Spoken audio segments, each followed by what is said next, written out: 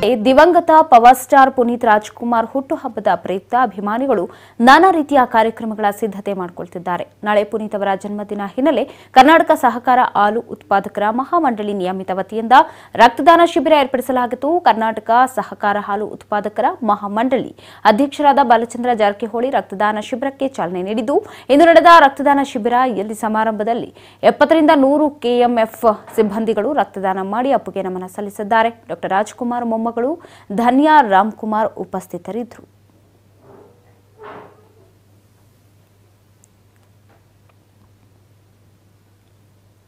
ಪುನೀತ್ ರಾಜ್ಕುಮಾರ್ ಅವರ ಹುಟ್ಟುಹಬ್ಬದ ದಿನಾಚರಣೆಯಾಗಿ K M F ಸುಮಾರು ಎಪ್ಪತ್ತೆಂಟರಿಂದ ನೂರು ಜನ ಎಂಪ್ಲಾಯಿ ಬ್ಲಡ್ ಡೊನೇಟ್ ಮಾಡ್ತಾ ಇದ್ದಾರೆ.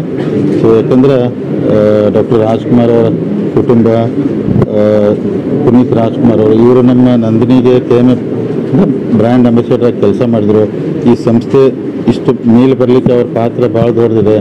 ಅದಕ್ಕೆ ನಾವು ಯಾಕಂದ್ರೆ ನಮ್ಗೆ ಇಷ್ಟು ಬೇಗನೆ ಅವ್ರು ಬಿಟ್ಟು ಹೋಗ್ತಾರೆ ಅಂತ ಯಾರೋ ಅನ್ಕೊಂಡಿರಲಿಲ್ಲ ಆದರೂ ಅವ್ರು ಎಲ್ಲಿದ್ರು ಭಗವಂತ ಅವ್ರ ಆತ್ಮಕ್ಕೆ ಶಾಂತಿ ಕೊಡ್ಲಿಕ್ಕೆ ನಾವು ದೇವ್ರ ಕಡೆ ಪ್ರಾರ್ಥನೆ ಮಾಡ್ಕೋತೀವಿ. ಇನ್ನೂ ಮುಂದಿನ ದಿನಮಾನದಲ್ಲಿ ಸಾಧ್ಯ ಕೆ ನಂದಿನಿ ಮುಖಾಂತರ ಇನ್ನೂ ಸಾಮಾಜಿಕ ಸೇವೆ ರಸ್ತೆ ಮೇಲೆ ಮಾಡುವಂಥ ಪ್ರಯತ್ನಗಳು ನಾವು ಖಂಡಿತ ಕೆ ಅಪ್ಪುಮಾಮ ಅವ್ರ ಬರ್ತ್ಡೇ ಸೆವೆಂಟೀನ್ತ್ ಮಾರ್ಚ್ ಅಂತ ಎಲ್ರಿಗೂ ಗೊತ್ತಿದೆ. ಕೆ ಎಂ ಎಫ್ ಅವರು ಈ ಬ್ಲಡ್ ಡೊನೇಷನ್ ಕ್ಯಾಂಪ್ನ ಆರ್ಗನೈಸ್ ಮಾಡಿದ್ದಾರೆ.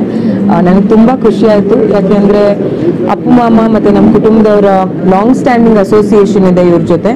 ಆದ್ದರಿಂದ ನಾನು ಕೂಡ ಬಂದೆ. ಇಲ್ಲಿ ಬಂದು ನಂಗೆ ತುಂಬ ಖುಷಿ ಆಗ್ತಾ ಇದೆ. ಅಪ್ಪು ಮಾಮ ಅವ್ರ ಬರ್ತ್ಡೇ ಸೆವೆಂಟೀನ್ತ್ ಮಾರ್ಚ್ ಅಂತ ಎಲ್ರಿಗೂ ಗೊತ್ತಿದೆ. ಕೆ ಎಂ ಎಫ್ ಅವರು ಈ ಬ್ಲಡ್ ಡೊನೇಷನ್ ಕ್ಯಾಂಪ್ನ ಆರ್ಗನೈಸ್ ಮಾಡಿದ್ದಾರೆ. ನನಗೆ ತುಂಬ ಖುಷಿ ಆಯಿತು. ಯಾಕೆಂದರೆ ಅಪ್ಪು ಮಾಮ ಮತ್ತು ನಮ್ಮ ಕುಟುಂಬದವರ ಲಾಂಗ್ ಸ್ಟ್ಯಾಂಡಿಂಗ್ ಅಸೋಸಿಯೇಷನ್ ಇದೆ ಇವ್ರ ಜೊತೆ. ಆದ್ದರಿಂದ ನಾನು ಕೂಡ ಬಂದೆ.